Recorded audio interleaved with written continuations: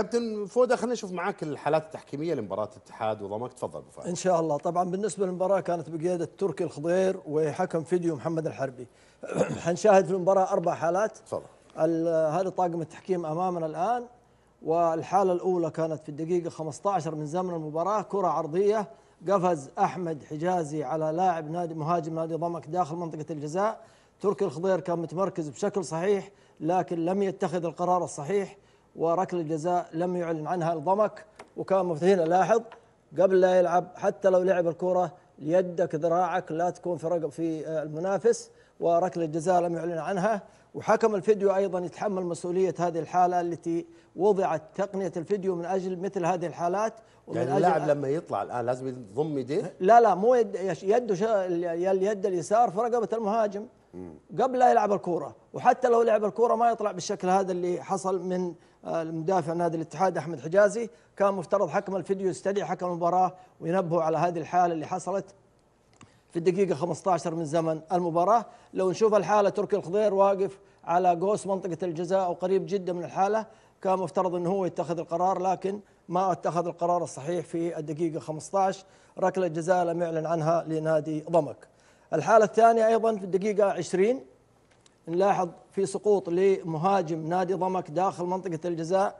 هل في دفع من ال- المدافع؟ هل فرد يده؟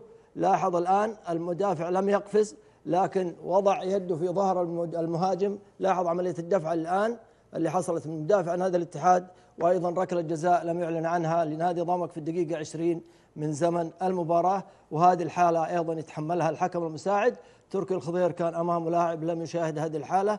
كان المفترض أن يتم الاستدعاء من حكم الفيديو اللي وضع من أجل عدالة في اتخاذ القرارات في الحالات التي لم يشاهدها الحكم. لو نلاحظ الآن لحظة في مه... في لاعب نادي الاتحاد أمام تركي الخضير قفل عليه زاوية الرؤية. كان حكم الفيديو مفترض انه يستدعي الحكم في هذه الحالة. الدقيقة 23 الدقيقة 23 هدف الاتحاد كان هدف صحيح. في لاعب نادي الاتحاد كان في موقف تسلل لكن لم يتداخل في اللعب ولم يتداخل مع خصم.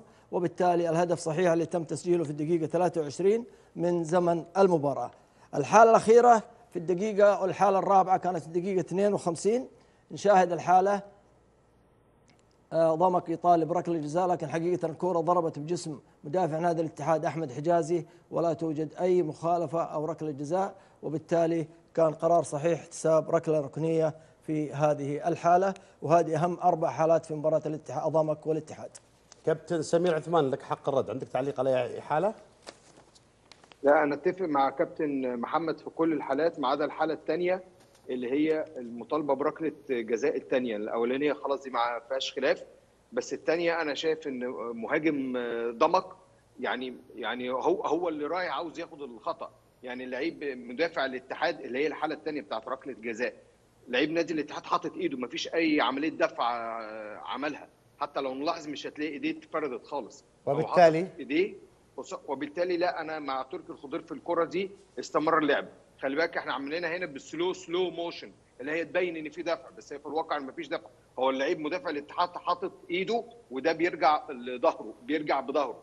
الأولانية اتفق إن ركلة جزاء بس الثانية دي طبقا اللي أنا شايفه بصراحة لا ما فيهاش ركلة جزاء. وبعيد تاني إحنا بنتفرج على slow slow motion يعني بطيء البطء اللي هي تبين إن في دفع بس في الواقع لا هو حاطط إيده بس ما فيهاش دفع من وجهة نظري بصراحة.